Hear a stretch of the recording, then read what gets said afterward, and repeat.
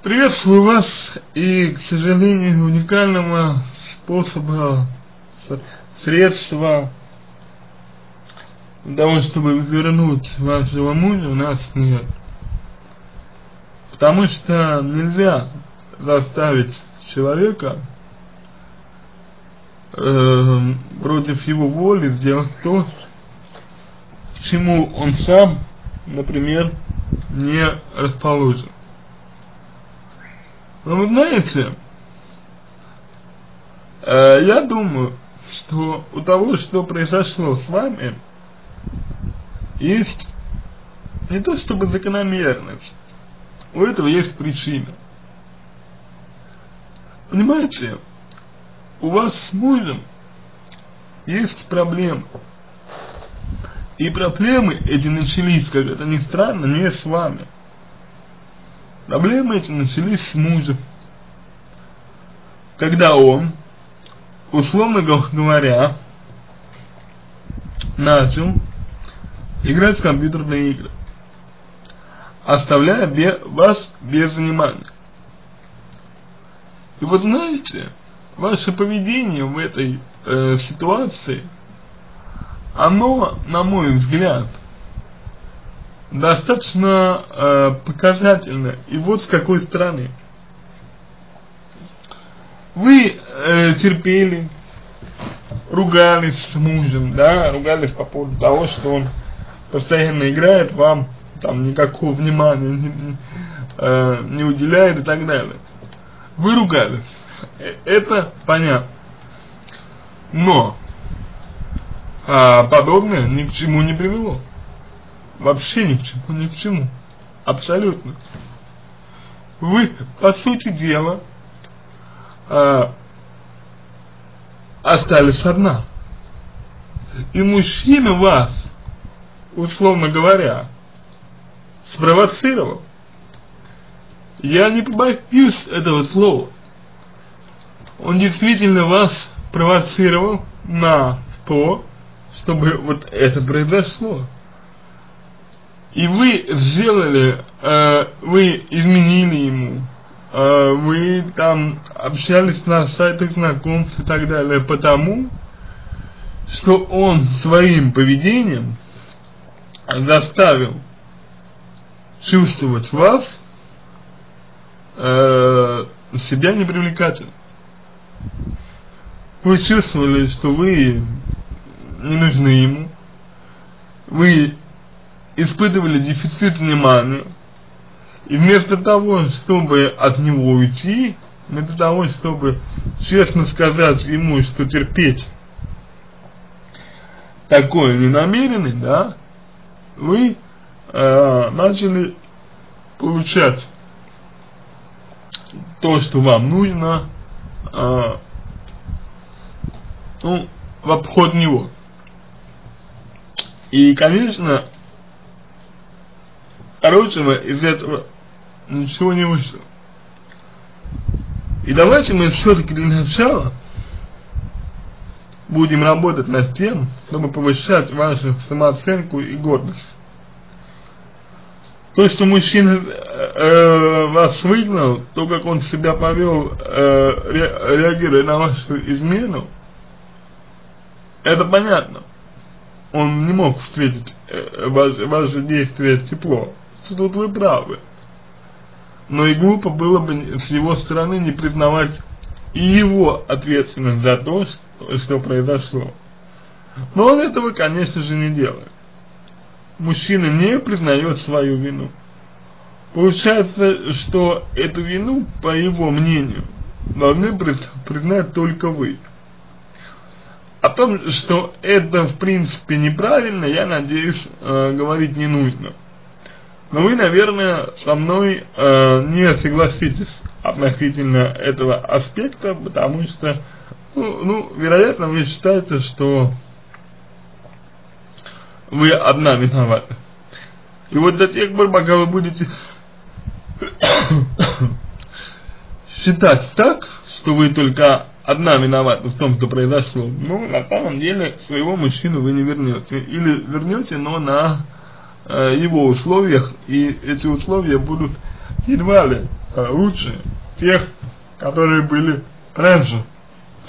То есть, если раньше, когда у вас все было, все было относительно хорошо, мужчина играл, постоянно в и вам не уделял внимания, вот сейчас, я думаю, будет все еще хуже.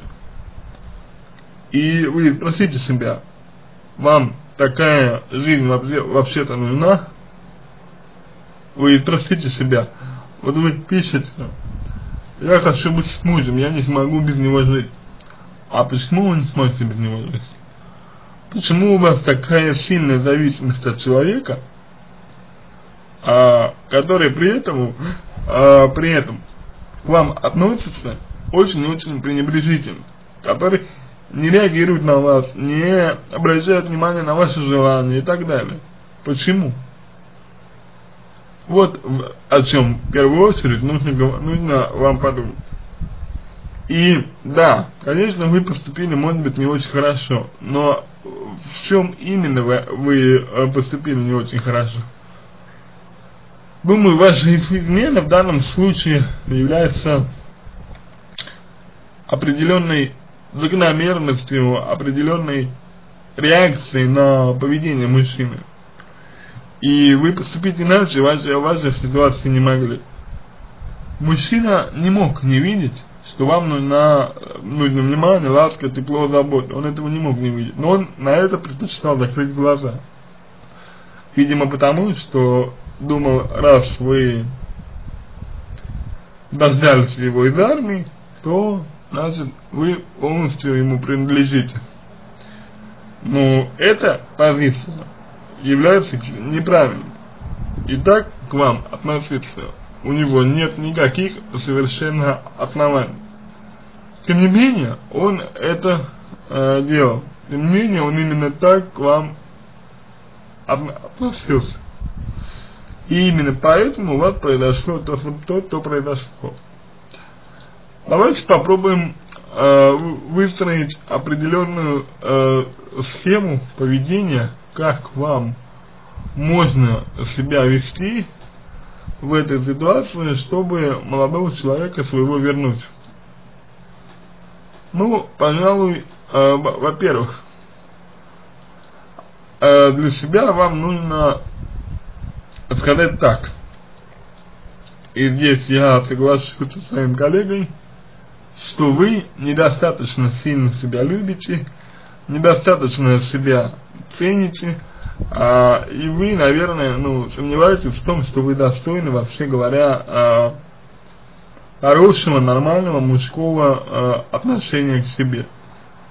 Если это так, то а, с этим нужно бороться, эту установку нужно убирать, потому что она ни к чему хорошему а, не приведет, она уже привела к тому, что вы а, с, мужем, с мужем со своим разошлись, и поверьте, ничего хорошего вообще в этом э, нет.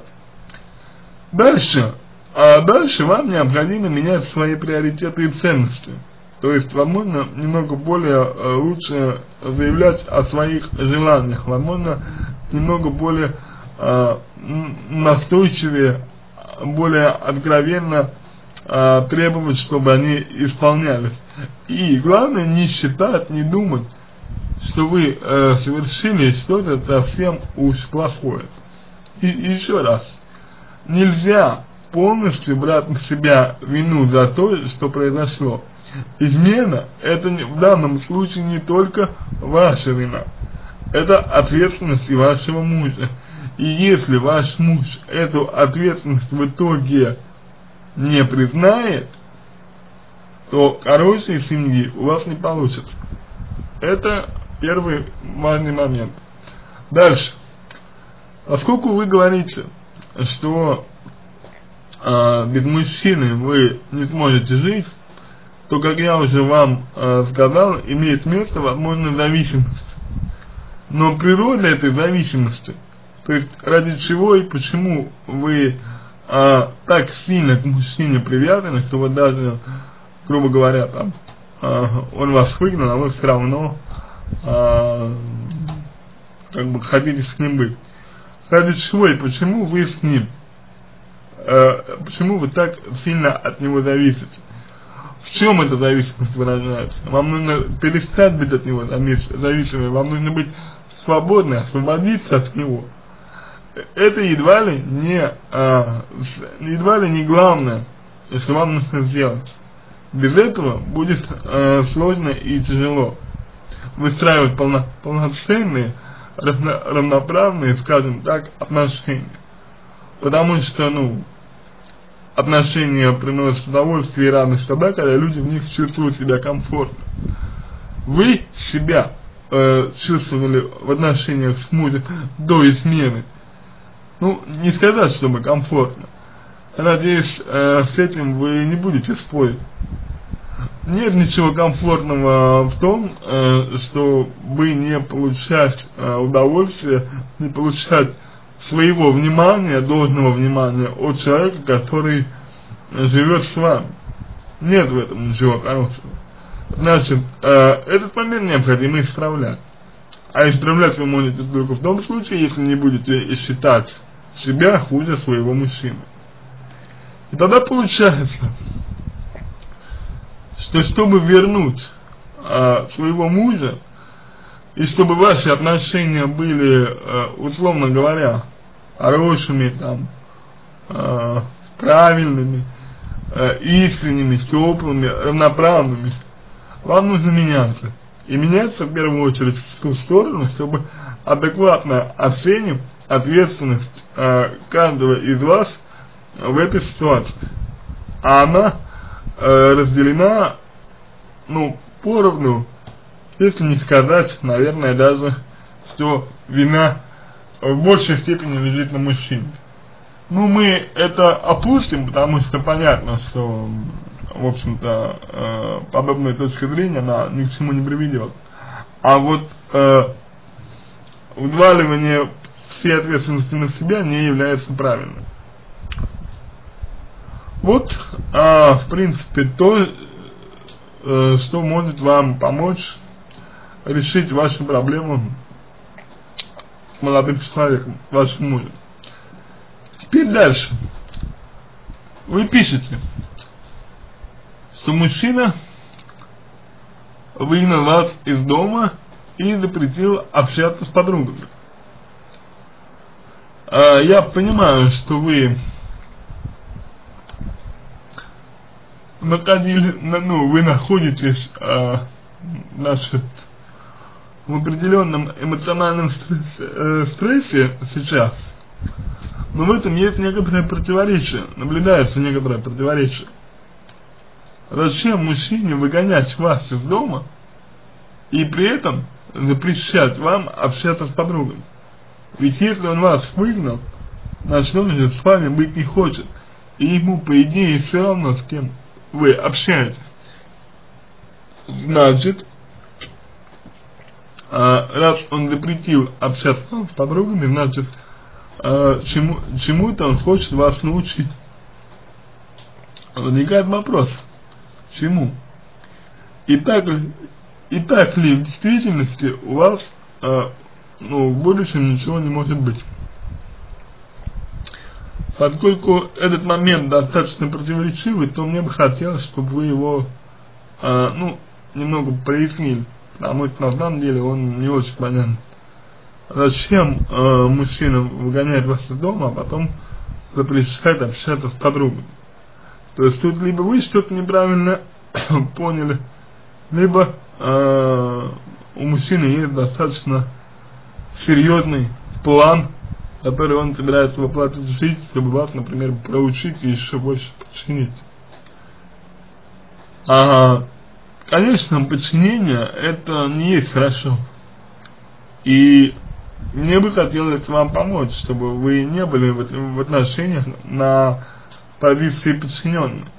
Но в конце концов все определяется вашим желанием.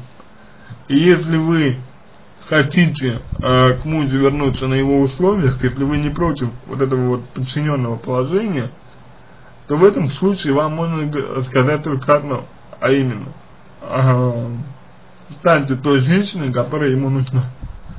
Но вот что делать с вашими желаниями? Что делать с вашими потребностями? Что делать с тем, что мы мужчины, еще когда все было хорошо, не обращал на вас никакого внимания. И это, скорее всего, никуда не уйдет. Что делать? На этот вопрос вам нужно еще найти ответ. И прийти к какому-то решению относительно него. Потому что если решения никакого вы не найдете, то а зачем вам тогда такие отношения, зачем вам такой мужчина, который раньше не особо ценил вас, а после произошедшего, тем более ценить не будет. Вот об этом нужно вам э, как следует подумать. На этом все. Надеюсь, что помог вам. Если какие-то вопросы остались, обращайтесь в личку помогу. Если вам понравился мой ответ, буду благодарен, если сделаете его лучшим. Желаю вам всего доброго и удачи.